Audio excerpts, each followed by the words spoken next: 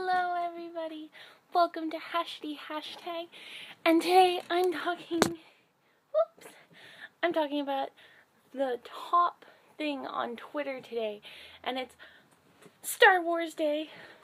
Why you may ask, why is it Star Wars Day today? Well, may the 4th be with you. Yes, May the 4th every year prawns out everybody's joke about the Force and May the 4th. They sound the same. So everybody does this. And my two cents is it's freaking awesome. Honestly, Star Wars is a great series and it deserves a day of its own.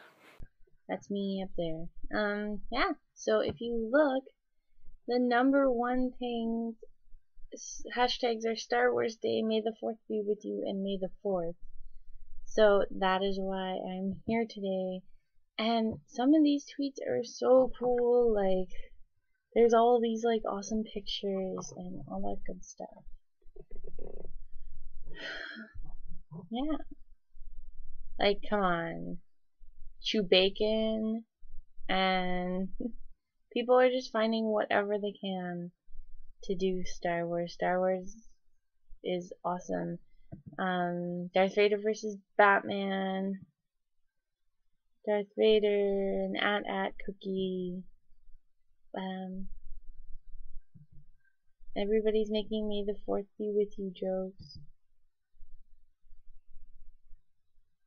And I like the one up here that says, if you made a May the 4th joke to a chick and she got it, marry her.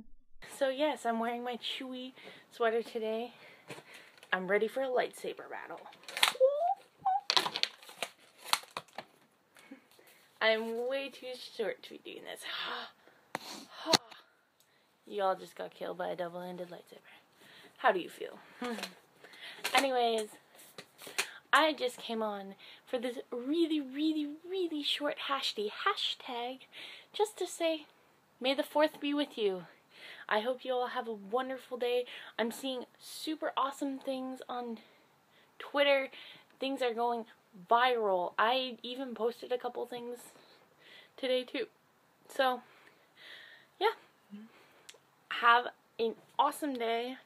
I hope the 4th is with you today. And,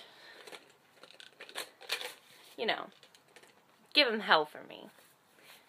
Have a good day, good day, good night, goodbye, wherever you are in the world. Just know that I love you. Mwah.